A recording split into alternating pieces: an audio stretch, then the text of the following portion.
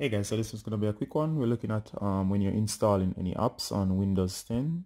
And of course, you see this says um, Windows protected your PC and it says don't run. And there's no option inside to actually run the application, especially if you're you have gotten the um, app from a trusted source. So this tutorial is going to show you what to do. First, click here and notice when you click on the more information right there, you'll have the option appear that says run anyway once you click on the run anyway what's gonna happen is that the application should run. Just give it a little time. And of course as you can see here the application will start running. And of course you'll just need to say yes to allow. Remember to always download your apps from trusted sources. This will apply to any application. Alright guys. Thanks. Ricardo Gardener from blog tech tips saying bye until next time. Bye